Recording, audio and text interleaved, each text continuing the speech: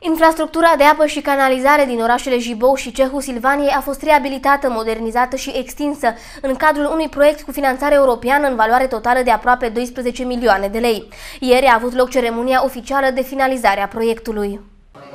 Ieri, la sediul primăriilor din Jibou și Cehu Silvaniei, a avut loc o ceremonie oficială de finalizare a contractului rețele de apă și canalizare în Jibou și Cehu Silvaniei. Acest proiect a fost derulat de compania de apă Someș SA cu finanțare din Fondul de Coeziune al Uniunii Europene prin programul operațional sectorial mediu. Prin acest proiect au continuat lucrările de reabilitare, modernizare și extindere a infrastructurii de alimentare cu apă și canalizare în aceste două orașe, lucrări începute în 2005 se împlinesc 5 ani de când compania de apă Someș a preluat serviciile și pe raza județului eh, Sălaj.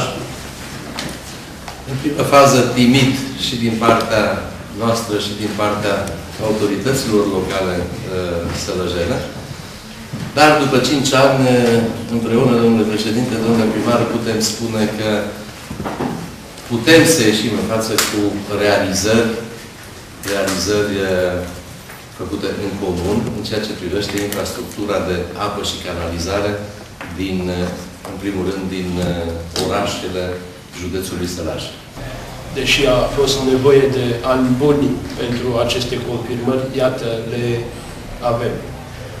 Uh, sigur, acest lucru n-ar fi fost posibil dacă operatorul de apă n-ar fi beneficiat de sprijinul autorităților. Totala proiectului cofinanțat de Uniunea Europeană este de aproape 200 de milioane de euro. Lucrările au început în anul 2009 și au fost finalizate înainte de termenul limită cu aproape 3 luni și jumătate. În total au fost construiți 38 de kilometri de rețele noi în ambele orașe. A mai rămas să se construiască stațiile de epurare, proiecte care deocamdată sunt oprite din cauza unor procese în instanță. De un an și ceva Uh, am reușit să finalizăm această lucrare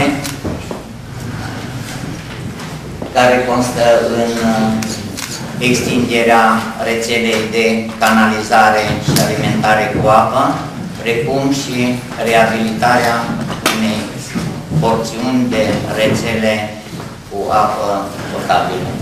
Acum locuitorii din cele două orașe se pot bucura de apă la robinet tot timpul, față de acum câțiva ani când apa curgea doar câteva ore pe zi.